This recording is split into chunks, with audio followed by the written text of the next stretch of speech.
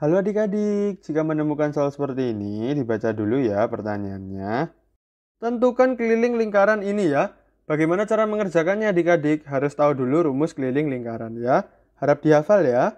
Rumus keliling lingkaran adalah pi dikalikan diameter. Seperti ini ya.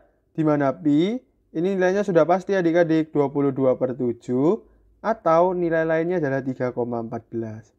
Di mana cara mengerjakannya adalah lihat diameternya adik-adik. Ketika diameternya kelipatan 7 gunakan pi yang 22 per 7. Selain itu gunakan 3,14 ya.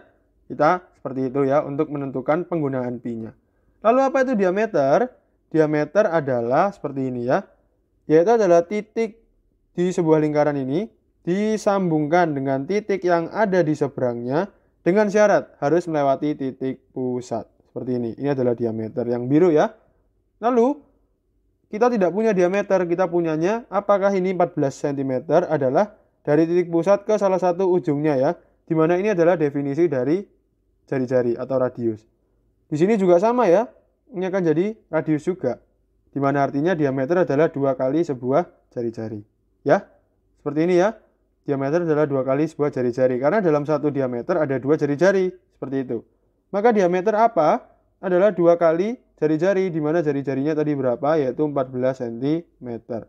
Maka jari-jarinya berapa? 14 cm. Diameternya adalah 28 cm. Sekarang kita cari untuk keliling dari lingkarannya. Pi-nya berapa? 22 per 7 kalikan diameter. Diameternya berapa? 28. Sekarang kita mau sederhanakan ya adik-adik, kita mau bagi 7. Ini jadi 1, 28 dibagi 7 jadi 4. Maka kelilingnya berapa? 22 kali 4. Kelilingnya jadi berapa? Ini ya, 22 kali 4 itu berapa? Dikalikan ya. 2 kali 4 berapa? 8. 2 kali 4, 8 lagi. Maka di sini jadi berapa kelilingnya? 88. Satuannya jangan lupa keliling dalam sentimeter. Seperti ini. Ini adalah jawabannya adik-adik. Soalnya sudah selesai. Sampai jumpa di soal berikutnya ya. Semangat selalu.